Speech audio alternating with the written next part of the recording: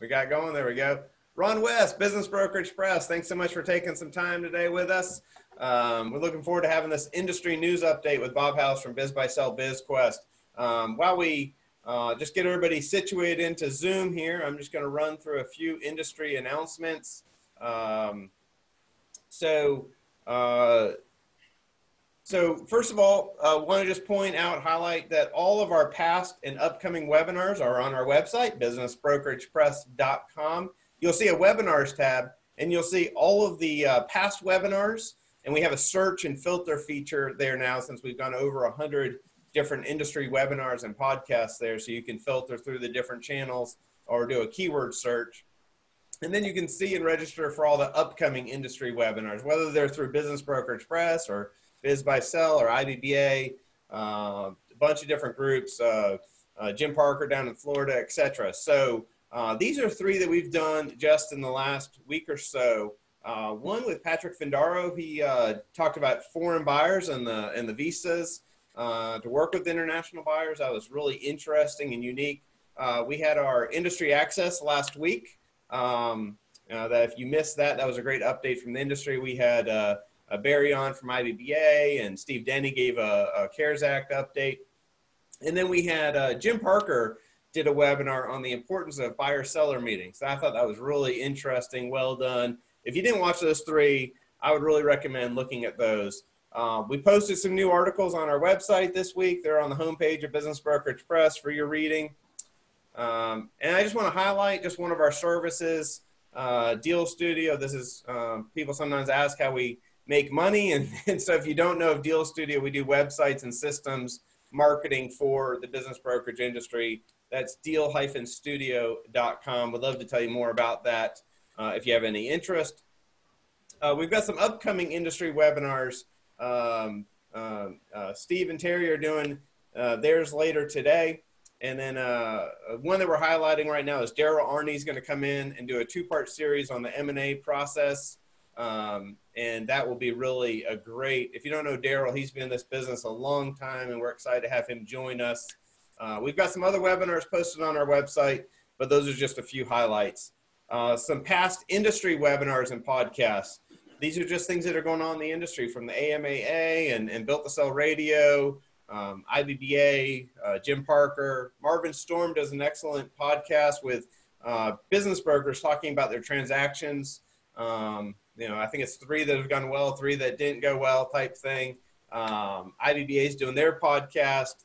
Um, so just definitely keep a lookout for those. Some excellent podcasts and webinars going on in our industry. Uh, industry events, we're excited to see the associations and groups trying to um, whether it be virtual or live, have their meetings, have their conferences. Um, IBBA just wrapped up their virtual conference. The AMAA is about to start their virtual conference. Um, and then you can see some other uh, things such as the IBBA is going to do a recasting and pricing virtual summit. Uh, and uh, they're also going to do, um, and then you can see the other associations out there and what they're doing uh, in the next few months. Definitely want to, since Bob's with us, want to feature our sponsor of the week. Made sense that BizBuySell uh, promoted. Uh, if you're not familiar, I think most are, but we want to thank BizBuySell for their sponsorship with us. And then thank you to all of our sponsors uh, that make this possible. So, uh, with that said, I'd love to uh, introduce Bob House from BizBuySell BizQuest. He's the president.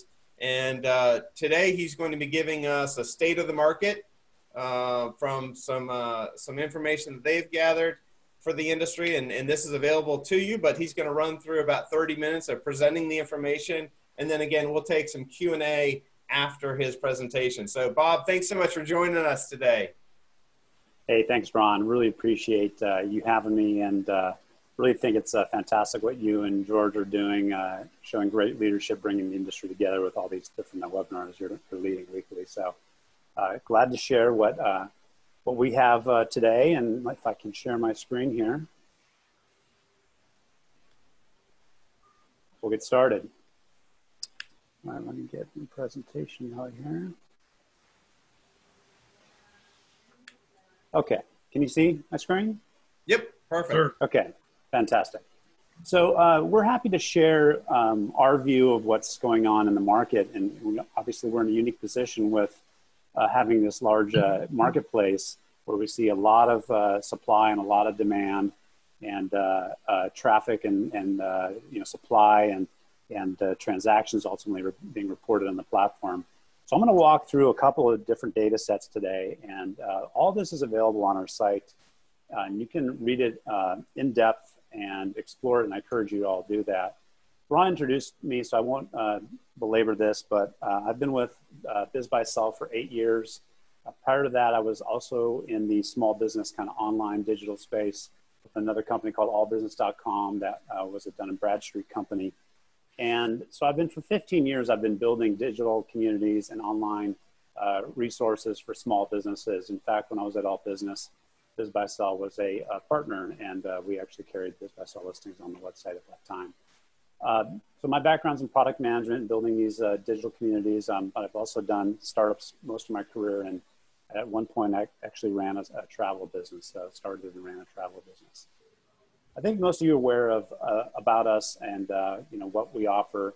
Uh, the BizBuySell network mission is to connect buyers, owners, tenants, and brokers in the largest, most active business for sale marketplace, providing listings and information to help people ultimately transition businesses.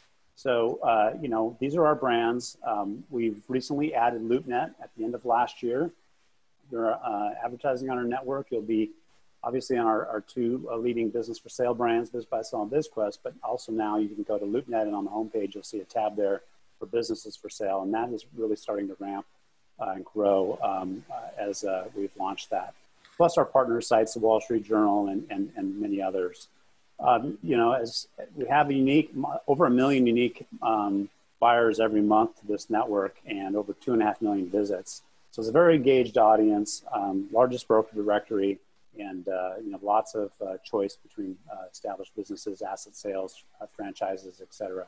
Um, obviously, we're part of CoStar Group, and, and CoStar Group operates a number of marketplaces in addition to its commercial real estate information service. There's uh, the apartment space and the land for sale and, and the like. So uh, there's a scale of marketplaces around um, commercial real estate.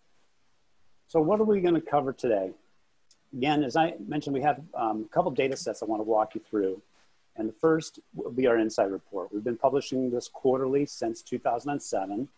So we've seen a, a, a range of markets, obviously, during that time frame from the last recession in, in 09 to kind of the current situation. So, and, and then the run up in between.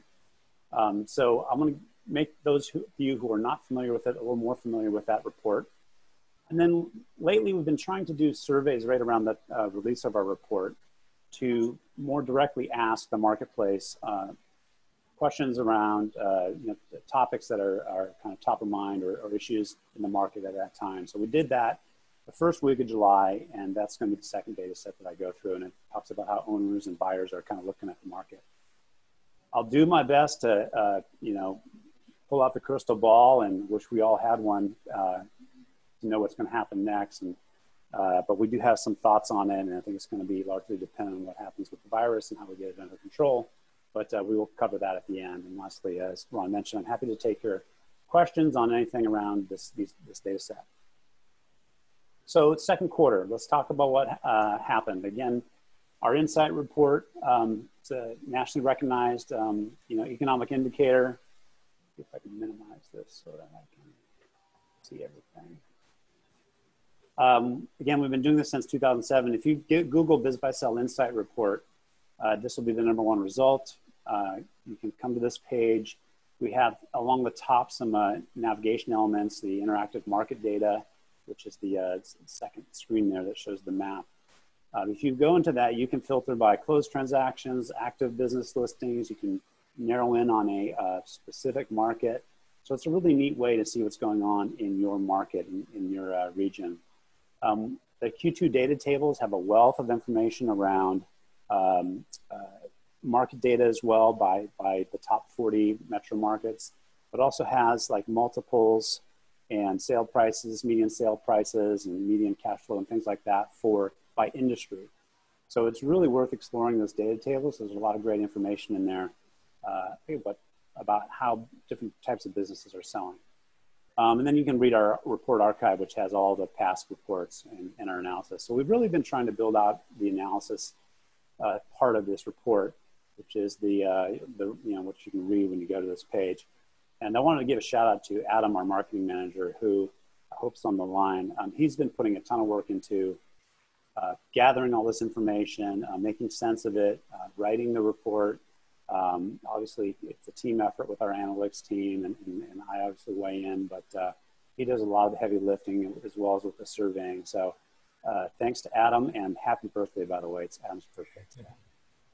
Um, so, uh, again, uh, we do this. One is I want to thank the brokerage community for participating in this. This is voluntary. Brokers uh, submit these, this information uh, when they take listings off our platform. Uh, it enables us to do this. It enables us to talk to the market, talk to the press about what's going on in the industry. It does result in uh, kind of media exposure for, uh, for the industry and the uh, uh, you know, transition of businesses. Um, and so uh, we couldn't do it without you. It's very easy when you um, go to delete a listing, you simply submit whether it's sold and the sale price. We ask that you, you know, keep your enter your cash flow and financials, uh, the, you know, the revenue and the cash flow, and, and, have it as accurate as possible so that this data is as high quality as possible. We don't have the bandwidth to validate it. Um, it's really meant to be directional and show trends and give ballparks of evaluation, not meant to replace any kind of formal valuation process. But anyway, that's um, again an overview of the insight report. So what happened? Well, Q2 was a quarter like uh, we hadn't seen since you'd have to go all the way back to 2009 to see something and as uh, a big a change in, in, a quarter. But we saw we started to see it at the end of Q1, about midway through March. Uh, the transactions really slowed down as everybody scrambled and started to shelter in place, and um, and so uh, that carried into April, and and actually had April was the bottom of what we saw around reported transactions. They dropped 51% in April compared to the a year ago April. Um, overall, there was a recovery in the quarter. I'll show that on the next slide, but uh, there was uh, a total drop in the quarter of 39% year over year, which was the largest year over year decline since Q2 of 2009 during the Great Recession, which fell 50% in the quarter. What happened? Well, again, people were scrambling.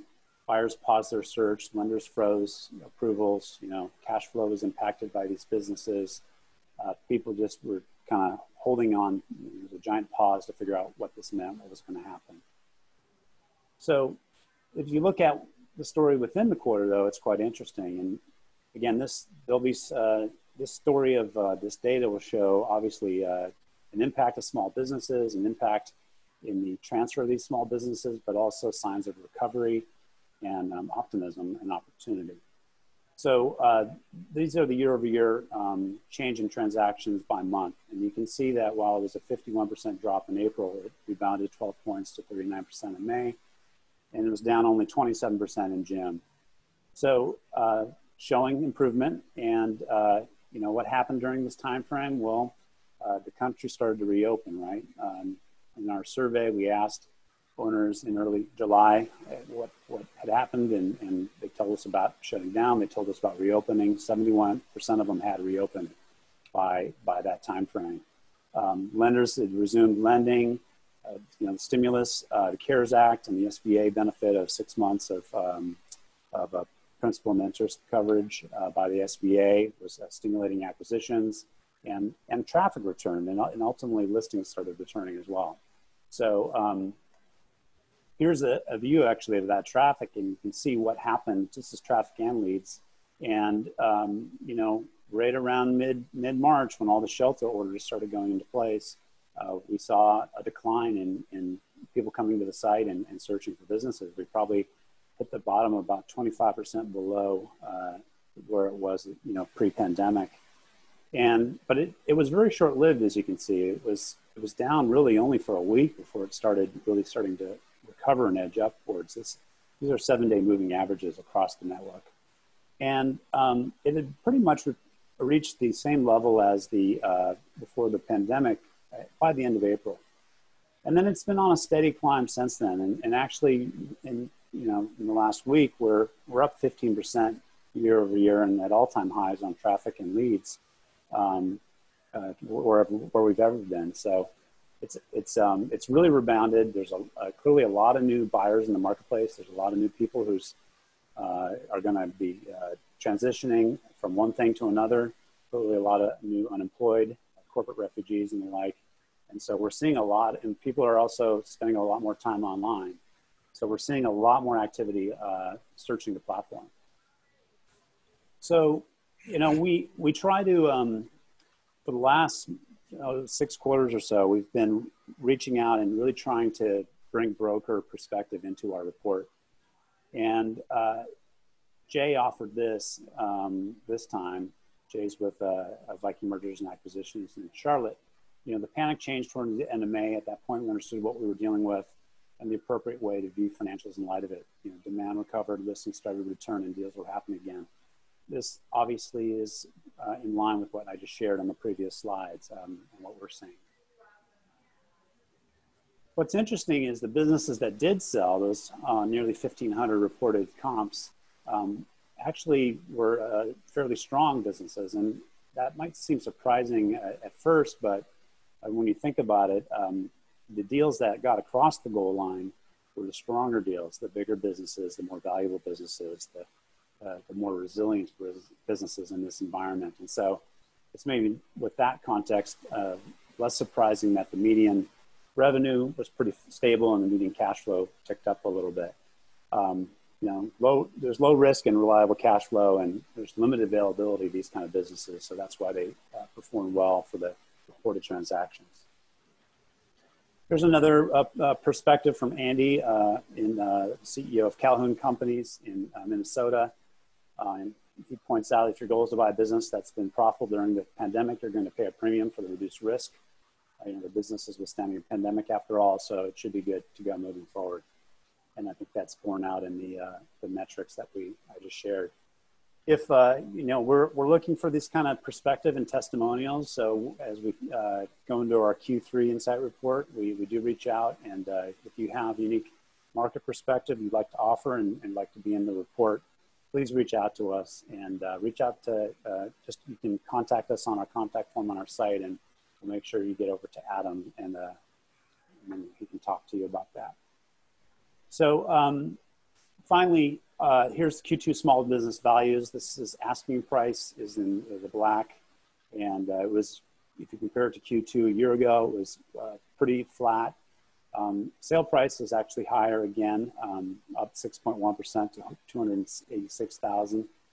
Um, again, these are medians, right? We look at the midpoint. So there's a range of businesses from you know, very high-end businesses in the millions to very low-end businesses in the tens of thousands. But the, the midpoint of the transactions reported is 286,000.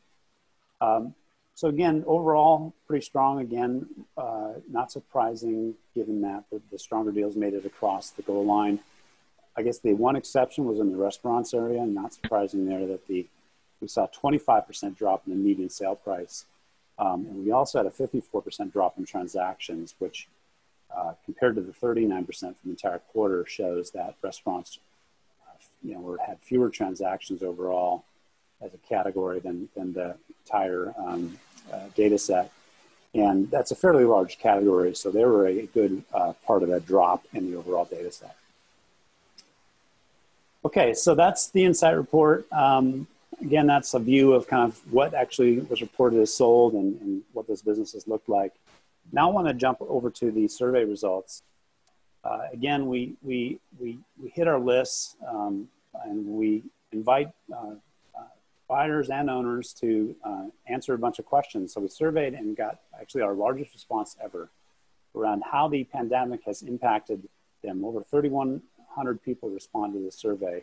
We asked them questions around operations and headcount, how it's impacted customer demand, uh, how it's impacted their acquisition or exit timelines, um, and, and finally their transition motivations and, and, and opportunities they're seeing. So the, uh, serve, the full survey you can get from the Insight Report, and there's a link to it, and you can actually look at every single question we answered, the number of respondents to each question, and uh, it's it's all there. You can see the exact questions we asked. But I've got some summaries of kind of the highlights in this deck. So um, we started with owners and what was the initial shutdown impact on owners? And here's one of the primary questions we asked, which of the following applies to your business as a result of COVID-19? Um, state and local shutdowns. And you can see that 52% were either required to entirely close their business or um, partially suspend some operations.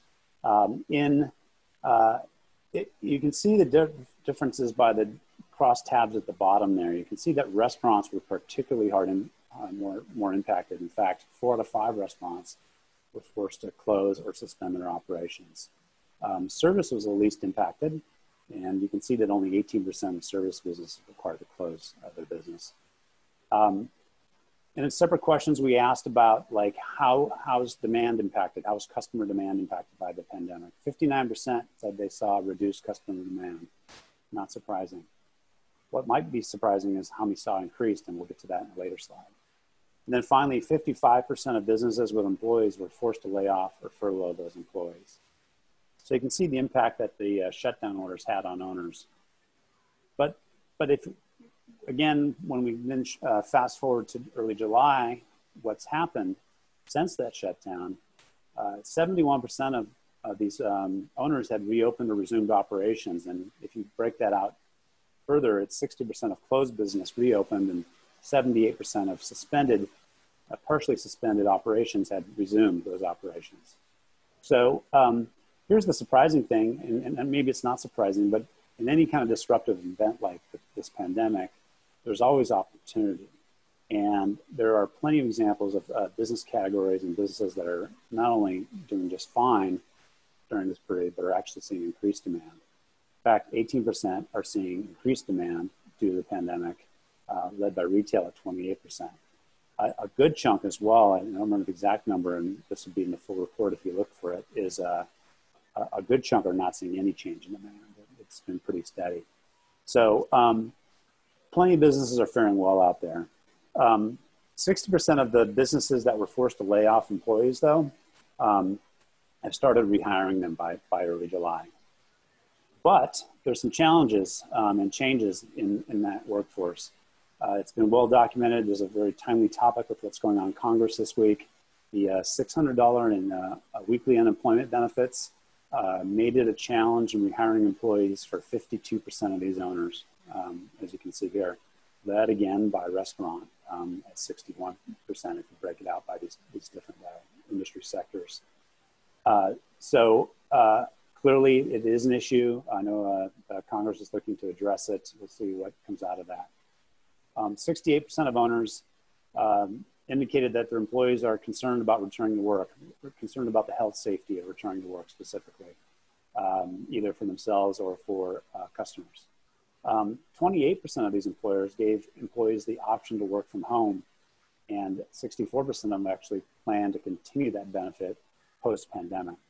So it's interesting to see how this event um, is just changing work habits and uh, how those might persist after we get out of this environment. Um, so uh, how did it, you know, many owners are uh, obviously on our platform looking to exit at some point or thinking about exit and having a transition plan. So we asked them specifically how the pandemic had impacted their exit strategy. And here's their responses in the chart. Uh, you can see that 16% planned to exit earlier as a result of the pandemic. 21% decided to uh, exit later. They're going to uh, pause their exit plans. And then the rest hadn't really changed their plans or maybe worked on a succession plan. Uh, again, you can see the impact on restaurant. They're more likely to uh, want to exit sooner than the other industries um, uh, compared to retail or service. So um, most, though, owners haven't adjusted their exit timeline. Um, and 58% uh, uh, of owners, by the way, uh, we have a very active group of serial entrepreneurs on our platform and 58% of owners surveyed plan to buy another business. While they might be exiting this one, uh, they're, they're looking to get into other areas. And what are those reasons? Why do they want to look for other businesses? Well, these were the uh, reasons that existing business owners said they were looking to buy another business.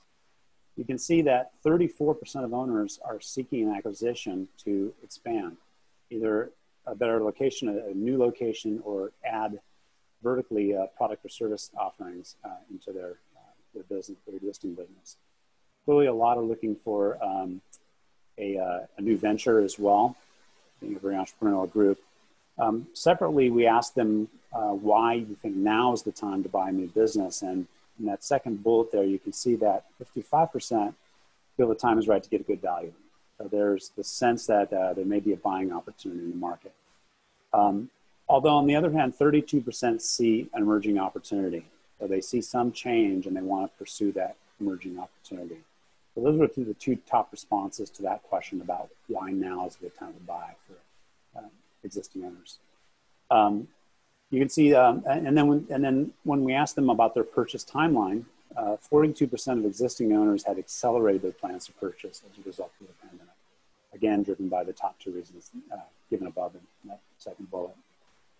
Um, interestingly, or maybe surprisingly, is uh, 62% said they would consider buying a closed business, and 80% said they would consider buying a business that was negatively impacted by the pandemic. So um, again, I think that speaks to um, looking for deals and the opportunity to um, opportunistically uh, pick up better locations, uh, real estate, um, you know, and the like. Um, we also asked buyers, uh, these are non-owners, but just business buyers. Um, some of them might have been former owners, but they're not currently owners. And we asked them, why do you believe now is the right time uh, for you to buy a business? And you can see a similar kind of response here um, to the owners. Uh, I believe they can get a good value right now. Um, but you can see that they also see emerging opportunity and 28% uh, uh, are newly unemployed and looking to be in more control of their future through uh, business ownership. So corporate refugees and, and others who think this isn't a good time for me to go into business for myself um, are, are uh, in this cohort, obviously in pretty large numbers. Um, but this group does have access to liquid capital, and 47% plan to put 20% or more down. 5% are all cash buyers. So um, anyway, quite interesting to see what buyers are saying about why now is a, an interesting time for them to buy. Um, when we ask these buyers again, uh, what are you looking for in a business purchase? What type of business are you looking for?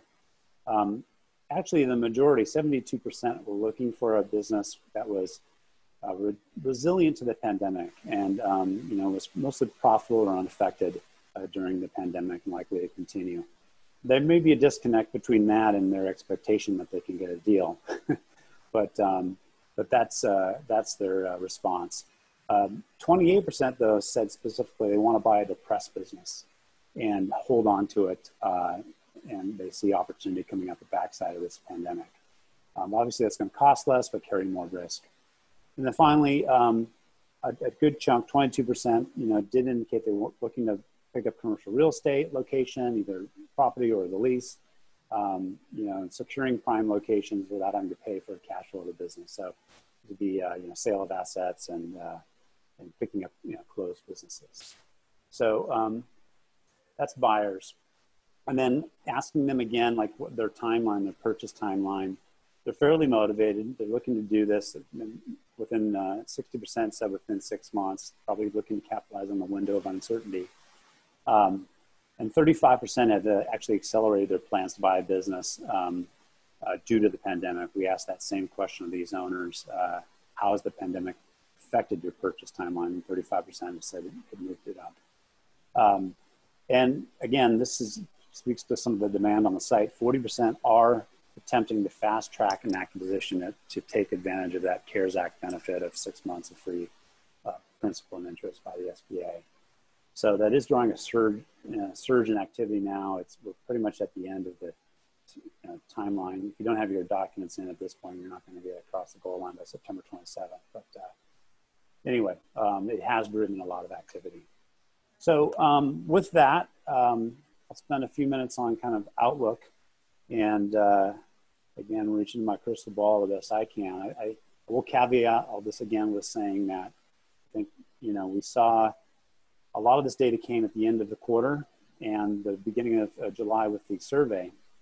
And, you know, cases were just starting to pick up around that time frame. And, uh, and you've seen a lot of uh, kind of macroeconomic indicators in the press that shows that you know, job jobless claims are, are actually going up again, and, and consumer spending is, is pulling back in, in a number of areas. So it's going to depend on what happens there. If we can, it seems like in some of these southern states we're starting to reach a peak, and um, and uh, California as well, where we're located, uh, and hopefully we can uh, you know get the virus under control and continue that trajectory we were on coming through uh, through June.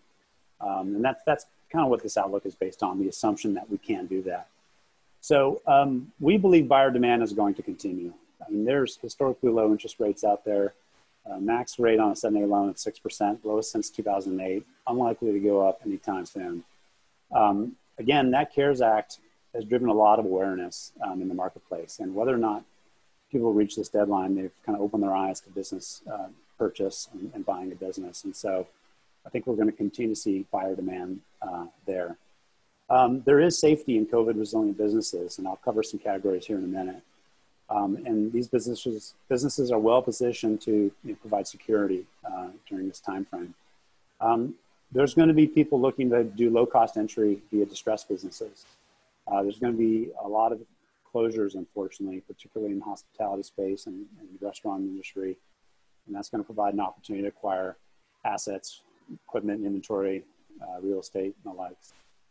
And finally, uh, as mentioned before, you know, there's this whole new wave of buyers out there. And we saw it in the last recession in 2009, and uh, they're seeking business ownership as a uh, uh, path forward. So we think that buyer demand is going to continue to be robust um, and, and, active on the platform. Again, you know, entrepreneurs are masters at finding opportunity during disruption, and uh, whether it's a, uh, pivoting their existing business, even in, in the restaurant space, there's lots of examples of restaurants pivoting to digital ordering and takeout and delivery models. Um, you know, so whether they're pivoting or whether they're just categories that are well suited to the times, we, we hear lots of examples. These are just some categories that are doing well right now. Uh, home improvement services, you know, uh, central retailers. I'm just jumping around the list here. Um, uh, obviously, uh, anything online and digital is going to be doing very well. Um, essential services, finance, financial services there's there's plenty of examples if you look for them out there, and I'm sure you all have great examples as well in your businesses. If you haven't seen the Yelp Economic Average Report, it's an interesting report that they also publish quarterly, and they publish on their search activity on their platform for uh, certain business categories, and the idea being that as consumers get more confident to uh, resume activities, they're going to be searching for those types of businesses, and uh, and so you can see the trend here. And so uh, there's clearly categories with sustaining and increased interest. Um, it's a good time to be in the, the guns and ammo business. Uh, but also bike rentals um, are surging. Um, you can see again the home services, appliances, repair, and plumbing. Um, but you can also see that uh, you know there are things that are bouncing back that show people are getting back out there. You know, hair, hair care, um, you know, uh, equipment rental, um, you know, and the like. So um, it's an interesting report to look at. Um, they do talk about the number of businesses that are going, that have indicated they've closed permanently, and it's a big number. Um, and so that's going to also present, you know, present opportunity in the market, um, both for, you know, well, for buyers who are looking to, to maybe uh, move into those areas. So um, take a look at that. Finally, I'll just uh, a couple more slides and then I'm ready to uh, wrap up and uh, open it up for questions. But um, you know, there's still, as we know, a lot of pent-up supply out there, and, and we believe this is still going to be coming. Um, I think the, the pandemic has been a wake-up call for baby boomers. Um, many of them have thriving businesses, and and uh, you know maybe they want to hold on to them during this time period, or maybe they realize that that's this benefit may be short-lived, and then maybe maybe no better time to get out um, than now. Um, you know, I think everybody's realizing that there is more to life than uh, working all the time, and, and I think uh, a lot of these baby boomers may be uh, ready to, uh, you know, look at retirement and, and exit out of their businesses. Um, you know, if particularly if you've survived the last downturn, you know, maybe you just don't want to try to, you know, do, uh, deal with this kind of uh, period of uncertainty coming out of this this cycle. Um, again, Yelp's indicated that 72,000 of these uh, businesses on their platform have kind of permanently closed as of July 10th. You know, these owners will try to get something for their business assets or their businesses. And so there's going to be opportunity there um, and, and supply that's uh, available and going to come onto the, uh, the, marketplace. And then lastly, you know, I know there's a lot of uh, talk around in this industry around the PPP loans and their um, the difficulties of transferring these from from one uh, you know owner to a new buyer. And, and as these as those issues get resolved through either uh, you know changing legislation around it or as they expire, uh, those businesses will be pent up supply as well and, and hit the market. So um, we think there's more supply coming as well. I'm going to finish on this, and just like during these times, I, I this is the only, I guess, um, thing that may impact BizBuySell specifically for you is just don't ignore your online marketing. Uh, realize, and we asked also buyers, um, how has this period affected your um, searching online for a, for a business uh, to buy? And 32% indicated they're searching more online. So it's never been more important to have your online marketing in a, in a great uh, position. Um, really worth taking the time to, these are things that we always preach. And if you've been to our past webinars, you know, uh, we do monthly broker webinars around how to get the most out of your investment in our platform, but it's around uh, completing your brokerage profile, making sure that you're professionally represented, uh, represented uh, so that your clients will trust you over your competition and want to uh, have you represent their businesses. Um, you know, uh, surprising to me always that we have a number of brokers who just don't take the time to upload a photo or build out a description of their services or their specializations or how they can help them. Um, and then, you know, strategically market your listings. You know, if you're in a niche or a competitive market, you, you may need to think about upgrades or um, just at least be looking at your listing stats and make adjustments to kind of uh, copy and, and, content to make sure you're getting a good response during this time. Um, that is it for my kind of prepared uh, uh, deck. So I'll stop sharing here I can see you all again. Okay, we have uh, Daniel Crespo, I think, has a question. He's got his hand raised, so I'm going to bring him on. Daniel, if you can unmute yourself.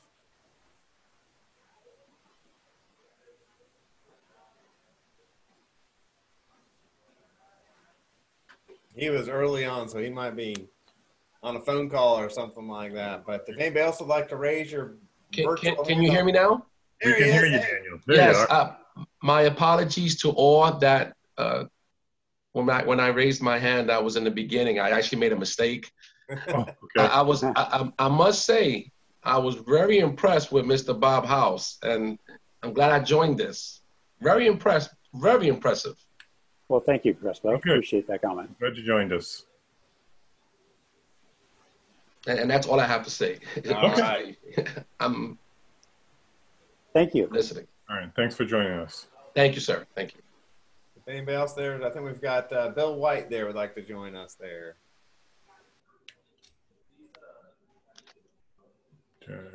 Hello, can you hear me? Yes, I can hear you. How are you doing, Bill? Doing well, doing well. Uh, my question is for Bob about Biz by BizBuySell, and uh, I've been a customer with Biz by BizBuySell for many years, and my father was a customer for many years before I was a business broker, so we're very familiar with your services. Uh, over the last few years, we had a great customer service representative who shall remain nameless, who's no longer with your company, and we've lost our ability to have good conversations with people at BizBuySell about how to utilize your services and products. Every time we call in, it seems to be an endless loop. Uh, are you guys working on that? Do you have somebody in customer service to work with the brokerage industry a little bit uh, that's designated for that? Well, I'm sorry to hear that, Bill. Um, I uh, would love to have a follow up conversation with you uh, kind of after this to kind of explore more specifically what what what your uh, issues are. But um, that's certainly not what we aspire to uh, have from our uh, uh customer service group. And um, we do have uh, you know a dedicated team that uh, serves the business brokerage industry. And I would be happy to have our sales manager um, or our customer service, one of our client managers, reach out to you and and address whatever may not have been addressed in the past. So thank you for your comment and. I will make a note here to follow up with you, um, Thank you. after afterwards. Sounds good. Yeah, and I want to, I want to, uh, uh, I want to wish Adam a happy birthday. I, I work with Adam a lot there, and uh, uh, he did, he does a great job with these presentations. Uh, I, Bob, I think a few people missed at the beginning how, I mean, we'll make these slides available, this video available by uh, five o'clock today. But I know there's a full report, and I know you mentioned that. But do you mind repeating that? Because a few people are asking about, you know, and I think this is great information. Part of the the idea of this webinar and these these industry updates is to help you educate business owners and these statistics are, are really helpful and you could even run your own webinar so to speak using this information to encourage business owners and help be an educator to them so um, bob where do we get that information the full report Absolutely. So as Ron mentioned, this will be this recording will be available, and this summary deck um, will be available. But if you want the full report, you go to BizBuySell, um, and, and, you can look in our footer, and there's a link to the Insight report. But again, the easiest way to find it is just go to Google and type in BizBuySell Insight report. It'll be the number one uh, result, and you will go to the report homepage. And from there, you have links to the full survey results you have links to that interactive, uh, you know, insight report by market where you can look at transactions in your area and all as well the, the full data tables that are available by industry. Um, so everything's there, including all the archive of past reports. So um, that's where you find this. We'll put a link in the uh, the webinar details when we post it too. Um, the the full report is is is very interesting. So I would I would highly recommend that. I'm not sure if everybody knows that that comes out quarterly, but a very important report for our industry. And and I agree, you guys get a lot of publicity and, and help promote the industry. So um, as an industry, I would encourage everyone to submit your comments and fill out the survey and, and do all that because that is very helpful as a as we as we promote to the outside of the industry uh, to the press and all uh, that information is very useful. So appreciate you guys doing that, Bob. Yeah, and the URL, if anybody wants the direct URL, it's bizbuysell.com forward slash insight dash report. And that'll bring you right there. Perfect. Right. Um, we have Gregory on the line. Greg? Hi, um, my name is Greg Carafillo, and um, can you hear me? First yes, hey, Greg, how yes. you doing? Good, Ron. How are you? Good. Um, uh, Bob, listen, very informative. It was great. And uh, I just have to disagree with the previous comment. I mean, I, I work with Madeline and some of the other people, and, you know, I think they're fantastic, to tell you the truth. So my service experience has been very positive. Um, well, thank you, Greg. Glad to hear that. Yeah. And, uh, but we lean on BizBuySell a lot, and uh, we, we obviously try to use it to its fullest advantages. My question to you is what are the tools you have coming out as things continue to change with Sales Navigator, things like that? What else can you do for people like us that to grow our to grow our listing base and to grow our obviously buyer base? Yeah, well, um, I mean, we're constantly looking at that and then reinvesting in the platform. Um, we do have some things coming up that um, I think uh, the industry will be happy to see. We're we're uh, we're we're working on better reporting so that you can see the uh, the value that uh, that we deliver to you in terms of both buyer interest and uh, owner interest. We do generate a, a lot of uh, seller leads, and I think that you know we're well known as a, a source of buyer leads in the industry. But I think you probably have to talk to some of our elite members to uh, learn that we're also a large source of seller leads. So we're, we're always looking at trying to find ways to uh, increase those. Um, and we have some things that uh, coming that should help in that regard. We also are working on streamlining, streamlining and improving the search experience on BizBuySell. And we really believe that that's going to result in more engagement with the platform and more leads ultimately to our broker members. So these are things that you should start to see in the coming uh, months uh, on our platform. Um, so I hope that answers your question on that regard, Greg. Okay, thank you. Thanks, Greg. Okay, Next up, we're going to have, um, no, wrong one. Sorry about that. And Bob, while we're bringing up the next guest, no um, there we go. I was going to ask you uh, just real quick, Bob. The uh, people are asking if they can use the slides or the report as long as they give credit to BizBuySell. Can they share this the, the slides or the report? I mean, obviously the public link to the report would make sense, but um, I think people are looking Absolutely. at. Absolutely.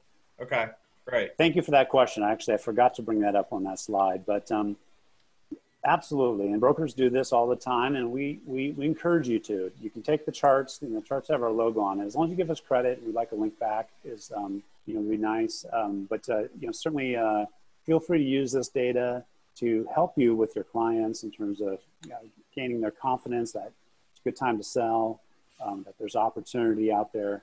Uh, absolutely, uh, the Insight Report is, is there for you to use um, as well with your kind of PR efforts. Yeah, maybe we can even uh, edit this video a bit, and, and that's something that people could share with business owners, just the presentation part. So we'll, we'll try to make that easy for people, um, give the proper uh, credit, and, and help business brokers educate business owners and encourage them, right? Um, so, yeah, great. And and uh, Bob, your video goes in and out a little bit, uh, but I think you look you, you it looks like it's doing all right now. But the audio's been Okay. great. So All right, The audio's sorry about fine. that. you might want I'm- to stop and start your video. Sometimes that helps, but I'm, um, I'm afraid that I have, um, we're all right working from home, right? And my, my daughters are doing online um, learning right now. And Uh, I think our, our bandwidth's being brought to its knees, even though I do have, in theory, a gigabit here.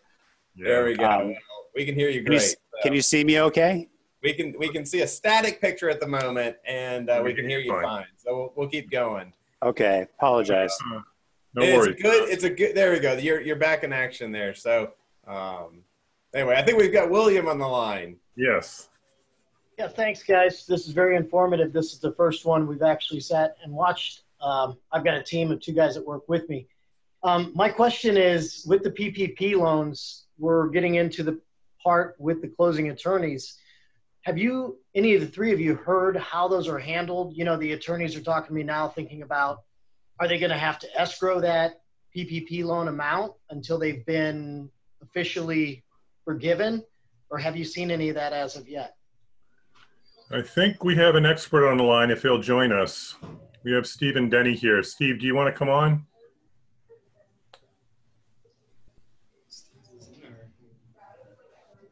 Okay, I think he just went to the top of the queue. Let me grab him real quick for us. There he is. Okay.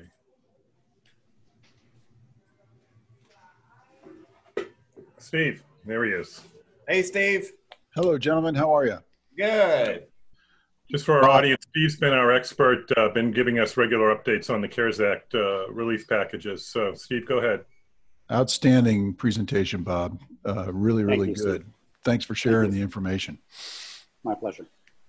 Uh, can I ask the uh, the person to re- restate the question? I heard you holler out my name, but I apologize. I was multitasking and, and want to make sure I got the question correct. Sure. Sure, sure, Steve. Thanks. Uh, my name's Bill Rowland. I think I'm right here in your market with you. Oh, hi, Um, Bill. How are you? good, good. I don't think we've ever officially met, but we we work in the same circle. I know the name. Yeah, Mike. My question is: Have you seen much of the with the PPP loans? Our attorney, you know, has talked to me about they're trying to find a way around. How do we do this? Are we going to escrow this, you know, out because they're not officially forgiven yet? Um, at the closings we've got coming up, have you had to tackle any of that as of? Absolutely. And what I would tell you is um, you've got to work directly with the lenders, and the lenders are the ones that make those decisions, right? So we've we have had deals that have closed, and we've had deals that have been closing postponed. And it's uh, at this point, it's it's whatever the lender will allow you to do. It's so case by case basis at this point. Correct. And we've seen different we've seen different lenders react differently. Okay, well, Steve, thanks for your help, guys. Thanks for the platform. Steve, you and I'll get lunch someday. Love to do that, Bill. Thanks for All the right. question. Thanks, guys. We've got. I see Ed Pendarvis hand up. He's next up. Good, good friend. I, I haven't Yeah. spoken to Ed in a while. Ed, you got to unmute yourself. But good afternoon, my friend. Hey, how y'all doing over there? Oh, we're doing excellent. Good to hear from you. Well, this is a great, uh, they've got the whole main crowd right here between BizBuySell and Business Brokerage Press. The reference guide's got everything you need as a business broker. All of that only needs buyers and sellers. Thank you, Lord. Well, listen, we'll come through this. Uh, we got some challenges with this thing. On that last question you had, We got one with a PPP right now. We're just having to escrow the money. Coming from the bank's okay, but we just got to escrow the money until it can be resolved because the government haven't even completed the saying what they need to have to get it released and stuff. So we're all kind of uncharted waters. But Bob, after the program today because I'll tell you, we're going to be busy, busy, busy if you just stick after it. Uh, biggest thing still goes right back. You got to have a good listings and a lot of listings uh, and keep working it. More and more people going to need our services. Uh, thank you, Lord. A lot of good people all across the country that do business brokerage and know how to do it. Uh, but we've got the two main resources. I congratulate both of y'all for doing that. You add so much value to our industry. Uh, and uh, so we, we are fortunate to have that. Uh, Ron, thank you. Enjoyed putting this on. And Bob, great presentation today. Always like your statistics. Uh, it always helps us. And I quote y'all all the time. And if your statistic doesn't fit, I just change the statistic. So we make it work right so it sounds good. All right. That's marketing. Well, thanks, percent or it's 18%, whatever we need to do there. That's right. Uh, listen, everything's one-on-one. Still dealing with a buyer and a seller, and what's so important to their family and selling this business or buying the business. If we take care of our clients and help them get to their goal line, uh, the Lord will take care of us. And we're in a good business at the right time, I think. Well, thank you, Ed. Appreciate the uh, kind words. Thank you, Ed. That was uh Thanks for coming on, Ed. Well spoken. If people don't know Ed Pendarvis, I can't imagine people don't know, but there's new people and there's international people. Ed Pendarvis is the founder of Sunbelt Business Brokers. Um, he's known our family since the 70s and maybe before. So, uh, Ed, thank you for all that you've done for the industry. And uh, now we got, no man, this is like legend hour here. Uh, Larry yeah, Hughes. Larry Hughes. hey, hey, listen, I've I've uh, been called a lot worse. Uh, so, uh, uh, Bob, that very good presentation. I've got a question for you, and I, but I have a comment too on the on the question from the previous person about the PPP money, and we're uh, like Ed, we're in the process of of closing, and our client now has used all of the $580,000 that he got. The bank is going to allow us to close, but we have to uh, we have to escrow the money uh, because the, the the actual form the SBA tells us, and I've talked directly to them, the actual the proper form that you have to have to apply for forgiveness is not out yet. There's one out, but it's not the proper one. So they're telling us the middle of August but but we're never either way we're we'll close and we just have to escrow that money. And uh, yeah larry i just heard this morning um, august 10th august 10th okay well that, that was the number i heard this morning and yeah we Good. we all know it keeps changing unfortunately. Yeah, yeah well yeah. that that'll be great. Um, bob you mentioned it the first and uh, and I didn't write it down, but that uh, on the Insight report, there were opportunities for brokers to maybe sponsor or on, is that what you said on that? And well, uh, we're, we're looking for broker perspective in uh, in our you know uh, write up in our uh, commentary and our analysis. So oh, oh um, I see. We, we're uh, you know it's not a sponsorship thing. We're we're okay. actively trying to make sure that brokers are part of the narrative uh, you're you're closest to the market. You are doing the deals. You guys know exactly what's going on on the on the ground. You know, on the, on the uh, front lines of, of this, right? And we're we're just seeing it from an online digital macro marketplace kind of standpoint. So we we invite uh, broker participation and, and, are always looking for brokers to tell us what they're seeing in the marketplace. So if you have contributions when we do Q3, you know, we always are trying to put in a, a you know, weave in that um, kind of perspective. Okay. All right. Well, good. Well, good. Well, that that uh, and then do I just send an email to to BizBuySell? Is that how? Yeah. Yeah. Okay. Absolutely. You can you can reach out to um, to use a contact form. We'll make sure everything gets routed to the right people. So. Uh, okay. But you just mentioned that uh, you know Bob mentioned during this webinar that you're looking for broker perspective, and uh, you know contact us, and we'll we'll be in touch. Can I mention that uh, as as a long, long, long time user, a subscriber, that I, I get preferential treatment? We're always looking for the the uh, most experienced uh, voices. Okay. Okay. Hey, thanks, guys. Good job again. Thank you. Thank you. Thanks, Larry. Good to hear from you. Thank you. And, and uh, actually, Larry, to answer your question, Steve Denny just chimed in, said the SBA told them uh, August 10th, and that the and that will be the day the SBA forgiveness portal is scheduled to open.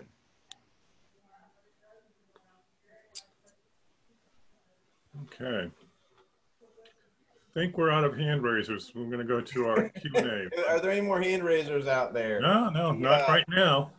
Bob, You somebody want- was asking in the chat. Um, can you maybe I know this the the because I, I want to clarify too is that you were mentioning uh, kind of LoopNet coming into the family. Is that is that a separate subscription? What's the syndication of listings in that regard? Yep. No, it's not a separate subscription. It's part of your uh, broker network membership. So um, our, our network members uh, will have their listings automatically pushed. You enter everything on BizBuySell, and it's automatically syndicated and pushed to BizQuest, to LoopNet, and all of our partner sites. So it's it's part of your membership. It's not an extra Cool. extra cost. Is that automatic, or do you have to go into your listings and kind of click on that as a no, syndic- it's it's auto, it's automatic. It's automatic. Okay. Yeah. Great. Okay, good. Um, Randy's asking, um, let me double check. I don't know if we've got a question or a comment here. S- It says, side note, our local BBS rep in North California, Madeline has, oh, has been great. Okay, it was a comment. And Randy was just thanking two, you. Two, well, two Yeah. shout outs to Madeline today. Yeah, Maddie's great. Let's get the She- shout outs. she's been she's been working with a lot of our uh, customers directly on uh, helping them uh, understand uh, the platform, get the most out of their investment in the platform. So, uh, yeah, we're we're really happy to have her. Okay, great. Hey, folks, keep if you can keep your questions over to um, Q and A, we'd appreciate it. Um, and rather than using chat, um, Bob's asking us, how is leveraging your Ublick connection benefiting the the, the clients? Do they do, do you see any benefits uh, now that you've added LoopNet in? Uh, absolutely. Um, it just it's more reach. We're finding you know buyers that uh, you know may not have you know come to BizBuySell or BizQuest, and the traffic's really ramping there. It's starting to be a, a noticeable contribution to the total. So um, it's just more reach, right? And that's our our our belief is we want to put you in front of the the, the biggest audience of, of business buyers that we can. And we know that on LoopNet, there are a lot of uh, small business um, people on LoopNet. We know that because it's, Sure. it's just a company of ours. And there's a lot of tenants looking for their next space. Many of them are uh, open to buying businesses, but they may not have come in with that kind of mindset. They may have come in from a space mindset. And then they say, oh, there's businesses here too. And so they end up, uh, you know, exploring that area and reaching out. So it's a good fit. Okay. Um, Earlier on, Amy Cole had asked, uh, "Is there a price range on the business that you were reporting on? Was it uh, like under two million, or does it go up to a certain amount?" Oh, You know, we I I um I don't have that information uh, uh, at the tip of my fingers. I do know that when we when we do kind of crunch the numbers on the insight report, we we do a couple things. One is we do throw out really you know things that are clearly you know data entry errors or, or just too low to be realistic, or things that have unreasonable ratios of like you know cash flow to price you know sale price and things like that there's some logic and math behind it to make sure that we have a good data set. Um, there may be that something on the high end too. If somebody puts, you know, sold it for a billion dollars, we're going to throw that out of the data set. So um, I don't know specifically what those limits are though, but they, you know, the things that would make sense for our industry. yeah.